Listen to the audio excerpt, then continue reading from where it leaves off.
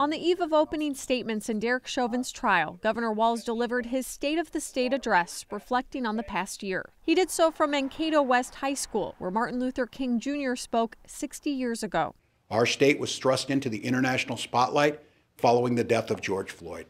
Our deep racial inequities were exposed for the world to see. The governor mentioned how a return to normal isn't good enough. He also had a message after last summer's civil unrest. As the trial of Derek Chauvin gets underway, tensions and emotions will understandably run high.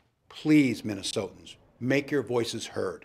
Practice your First Amendment right, but please heed Dr. King's advice that nonviolence is the only way to truly move hearts and create lasting change. Governor Walz gave the address in the classroom he once taught in.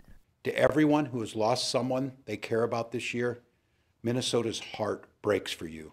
The governor used his setting to refer to lessons learned in 2020. For me, being in this classroom today signifies the progress we've made in ending this pandemic. More than 1.5 million Minnesotans have received at least one dose of the vaccine. We are winning the fight against COVID 19. Starting Tuesday, everyone in the state 16 and older will be eligible to get the shot. We're monitoring closely as COVID cases have started rising again, spurred on by new variants of the virus. We must remain vigilant Governor Walz also referred to his proposed state budget that would give a tax break to more than 300,000 families and would invest 50 million in a new forgivable loan program to help businesses hit hardest by the pandemic. Minnesota can and will emerge stronger from this crisis than ever before. The state of our state is strong, Minnesota. This is our goal line stand. Get vaccinated. We're coming back. Heidi Wigdahl, KARE 11 News.